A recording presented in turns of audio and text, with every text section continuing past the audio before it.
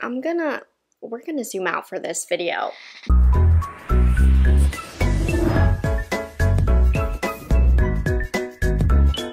The makeup is not makeuping today because I demoed 10 products if you have dry skin that you should avoid. Of course, when it comes to complexion and all of that, it is very, very personal. But these are 10 products that I feel like are relevant, viral, popular, or new that you might have your eye on. And if you have dry skin, I personally would recommend for you to avoid these. These don't work out for me and my dry skin. And you'll even see in the demos, Skin is not looking hot today with these products. No matter what skin type you have though, if you have oily skin, this video could potentially be of value to you. I mean, there's a couple products that I think are just downright bad, but there's some products where they definitely don't work on my skin, but I I think they might work for oily skin. So if you're new to my channel, I have dry skin. I actually just moved from Florida to Maryland and my skin is suffering. It has not been this dry in a long, long time. And that's definitely coming through in all of the makeup looks that I'm doing. I'm seeing products that worked better for me in Miami and not so much for me in Maryland. So I've been re-experiencing makeup lately with a different skin type due to the climate that I'm in. Anyways, let's get into the products. Now, I find that for dry skin, what is most likely to emphasize dry skin is foundations, concealers, and setting powders. So that's what most of this video consists of. So let's start off with the base complexion foundation style products. The first one is a brand new one. I just wanted to send out a warning to my fellow dry skin gals who are thinking about this because it does sound like it would be for dry skin. This is the ABH Beauty Balm Serum Boosted Skin Tint. I just recently filmed a video testing this for the first time, but I've been testing it for about four or five wears now. Don't recommend this for dry skin. When you slide it on the skin, it just looks heavy and dry. It's caking on to the nose right here.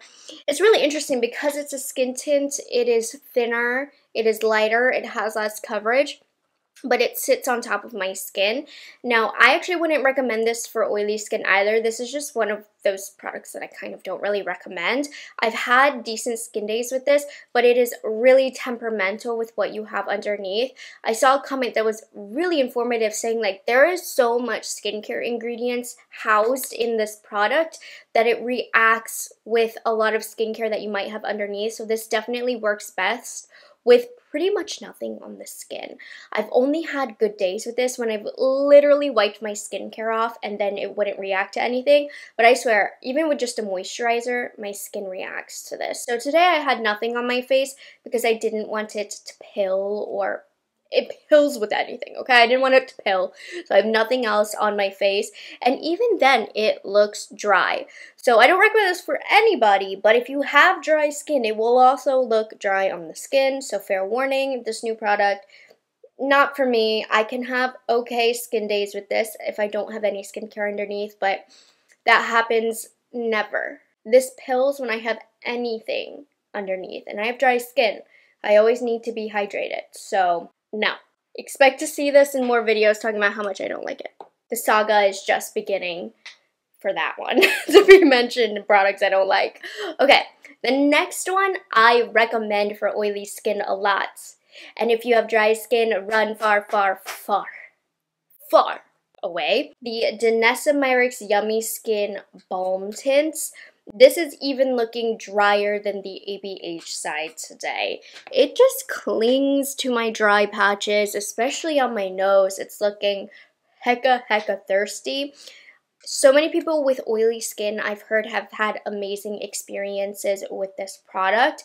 It almost dries down without any setting or anything over top and the wear time on this even on myself is really great. It's just the formulation of this product. It really is attracted to the dryness and flakiness on my skin. So it never ever looks good on me. I also find it can look heavy on my skin as well. But I've heard this is a lifesaver for oily skin. So this is definitely an oily skin product. I love Danessa Myricks. I think she comes out with amazing products. If you have oily skin, look into her tinted moisturizer. That will be game changing. But this one, if you have oily skin, I've heard a lot of praise from my oily skin girls. The next product that I have is a product I don't recommend for anybody, but if you have dry skin, I definitely don't recommend it for you. And it's another one of those products where it's like you think it would be good for dry skin. This is the Bobbi Brown Vitamin Enriched Skin Tint. This emphasizes dry patches that to be honest I didn't even know was there. I can be post exfoliation and this product would find a way to cling to the dry patches. It's patchy as well if we're just talking on formulation, not how it works on skin type. It patches up, it peels up on itself. I can never get even coverage, but to place this in the not for dry skin category, it also clings to dry patches and you would think it's a skin tint, so skin tints tend to be better formulated for more dry skin tints. But don't be fooled by this. I don't recommend it for anybody, but there's an extra layer to make it worse for those of us with dry skin. Let me know if you've tried this and made it work, but that is one product where I felt hate the moment the moment it touched my skin. There was no upside to it, no you know, trying to make it work. There was no making it work. The last foundation that I have is one that I have heard is a holy grail for oily skin. So the formula is good. It's not a bad, unworkable formula, but it sucks the life out of my skin. Truly sucks the life out of it. It's actually very, very long wearing. I have made this work by prepping my skin accordingly, but it still was always just like a little too dry on me. That is the YSL All Hours Foundation. So this isn't one that I'm going to steer everybody away from. I think if you have oily skin, this one could work great for you. It's a nice thin consistency so it doesn't feel heavy on the skin, but it has decent coverage, all things considered, and it wears a super long time.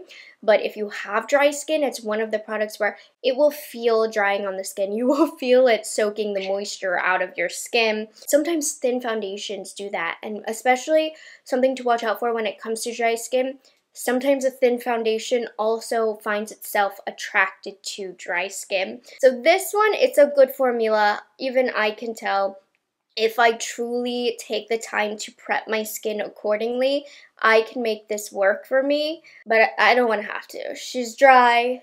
She's not meant for me, but maybe for you. I mean, in general, if you have dry skin, I recommend to stay away from the all hours line from YSL altogether because also, we're moving into concealers. The YSL All Hours Precise Angles Concealer is another one where I've just thought it has always looked really dry on my under eyes.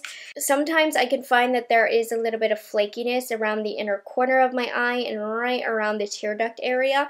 And I find that drier concealers do emphasize the dryness there. Something you'll also notice with a dry concealer is it will look really cakey along the fine lines that are along the lash line.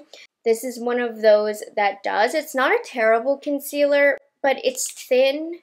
It doesn't have too much coverage and it is attracted to dryness. Generally speaking, I don't really recommend this for any skin type. I just don't think it's an amazing concealer.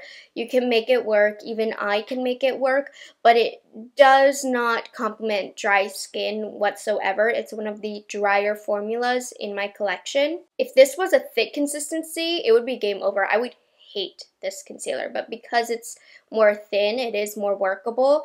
But nonetheless, it dries out my under eyes. so it's one of these new ones that I just can't recommend. I don't think dry skin would like it, but to be honest, I don't even really think oily skin would like it as well. This next one is a good formula just bad for dry under eyes and dry skin. This is the Makeup by Mario Surreal Skin Awakening Concealer. This just by nature, it's a drier formula. It actually isn't bad. It sets itself pretty well. It wears a long time. It has a nice coverage to it but it wears such a long time because it does have more of a drier consistency. Now, you can have a drier concealer, but if it sets and it wears a long time, there is that upside. So for me, I'm not reaching for this concealer on a daily basis because I do need to prep, I do need to prepare, but I'm not not reaching for this because I do feel like if I have an, a long evening in a warmer climate, like Miami for example, I got more use out of this concealer but I really, after I've moved to Maryland and everything is more dry for me, I do really see how drying this is. I highly recommend this for oily skin. It's thin, it has good coverage, it lasts a long time. So this is a good concealer and even if you have dry skin, you can prep it well enough to make this work. But again, the whole thing with makeup, it's like, do you want to have to make it work? By nature, this is not for dry skin. This is for oily skin, in my opinion. So yeah, this one, she's drying. So those are the two concealers I have for today's video. We're going to move into powders, and I think powders are also, like foundations and powders, those are the two where if they don't agree with dry skin, you can tell they don't like dry skin. So I'm going to start off with the two newest powders. If you've been watching my most recent videos, you would know. This one is the drier of the two new concealers. I don't know that I'd recommend this for anybody. This is the Laura Mercier Translucent Press Setting Powder. It's like ultra blur supposedly. I don't find it to be very blurring. I do find it to be ultra drying. It feels dry on the skin. It looks dry on the skin. It clings to dry patches again that aren't even there. And it dries out the skin so like when you smile, you know, dry skin can have that kind of stretched, thirsty look that is what this powder emphasizes. So unfortunately with this new item, I just, I don't really recommend it at all. It's not a very good powder. If you're looking for a good powder, the Laura Mercier Translucent Loose Setting Powder. Very nice. I don't find it to be too drying on my skin. I find it to be very blurring. The press form of it is a no-go for me. Definitely not good for dry skin. And this next one is new, very, very new. I did a whole review video on it. The Hourglass Vanish Airbrush Pressed Powder. I don't really recommend this for dry skin. I do recommend this for oily skin. This is not an amazing setting powder. It isn't anything that I would say is at the top of the market, the best of the best. But it, I don't think it's a bad powder, but I don't think it does us dry skin girls any favors because it just sucks you a little bit dry, which I think is why oily skin might really like it. It does not have as dry and a thirsty of a finish as the Laura Mercier. I don't recommend this powder for the under eyes. It looks dry on the under eyes, but there is a saving grace to it. I think it's really pretty when pressed into the rest of the face. It's supposed to be really great for a touch-up powder as well, which I've experienced as a touch-up powder. It is great, but again, I have dry skin. I don't need to touch up that much. But this does, unlike the Laura Mercier, have some blurring capabilities. I just don't recommend it for dry skin because it looks a little bit dry, but I think that dryness is going to be really nice on oily skin. This is a very expensive powder, so I'm not going to say it's a must-have, but if you are interested in Hourglass and you're interested in this powder, if you have oily skin, I think you will like it a lot more than me. The next one, it's another case of the don't buy the press version, the loose version is so much better. The Huda Beauty Easy Bake and Snatch Pressed Brightening and Setting Powder. Don't say with this, it is not smoothing like the, the loose one. The loose one is so smooth. I did a side-by-side -side TikTok, and when I had this on the under eyes, you saw the bumps, lumps, and texture. It just looked dry. And then the side with the loose powder, it looked just seamless, poreless, so smooth. Yeah, this is not the same formula in a pressed form of the Huda Beauty Loose Setting Powder. This is dry. It's not horrible. Like, I'm really coming for the Laura Mercier, I'm sorry, but this is not as drying as the Laura Mercier, but this is drying. If you want a Huda Beauty Loose Setting Powder and you have dry skin, go for the loose version, stay away from the pressed version. She'll dry you out. And then the last powder that I have is a good formula and I'd recommend it for oily skin, but I would not recommend it for dry skin. There are other loose powders on the market that will better suit dry skin. So don't recommend the One Size Ultimate Setting Powder. Oh my god. I was worried that the dryness wasn't going to show up in the demo and like it would look like it would make a liar out of me. That was not, that was not an issue. Skin looks terrible today. Now, generally speaking, I would say one size caters to oily skin. They have a couple good products that work for me, but their complexion I really have to prep well for because the products are definitely targeted for oily skin. Patrick has said it himself. This one I wore a lot in Miami. I did a good job in the Miami humidity because while I'm dry, I actually am very sweaty.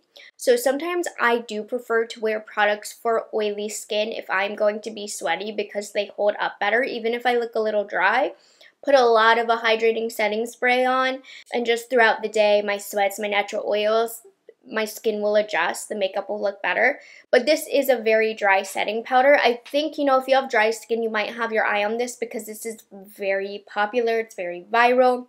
There's a lot of impressive videos of it lasting all day, and it does. But don't get this if you have dry skin. It's a drying powder.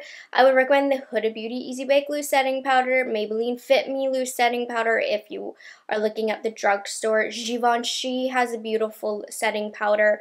What was the other one? Laura Mercier has an amazing loose setting powder go for that. You'll get the blurring effect with all of those and they won't look as dry as this is. This one has a lot of thickness to it as well. It has some body to it and that body will emphasize the texture that sometimes dry skin can leave behind. So oily skin though, you you probably love this. And so finishing off with the last product, a setting spray. The ingredients in this by nature just suck the life out of the skin but that's what makes it work so well. I will use this in Miami, but it does leave my skin dry and I'm following up with the one size mattifying waterproof setting spray. So I already gave you the warning one size is typically made for oily skin. This is quite literally a hairspray for the face. Even the smell the feel it makes the skin feel tight if you have dry skin but if you have oily skin, you are beat down with makeup, and you want it to last all night, this will work.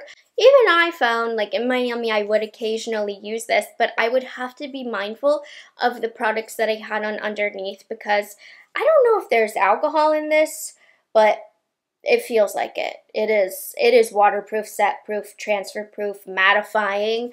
All of those are translation for disaster for dry skin. So I wanted to talk about this and mention it because people will say this is the best setting spray ever. It will make your makeup last forever, untouchable, waterproof.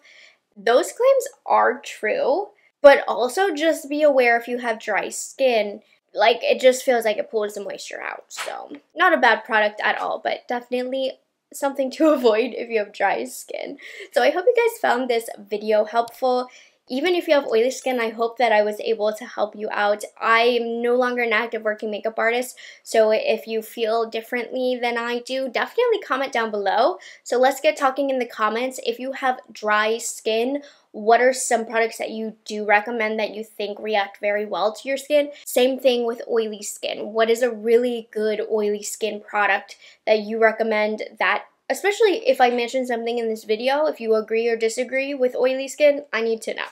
So I hope you guys enjoyed this video and found it helpful. Thank you so much for commenting and liking, right? You liked it, and subscribing. And I'll catch you guys in the next one. Bye guys, have a good one.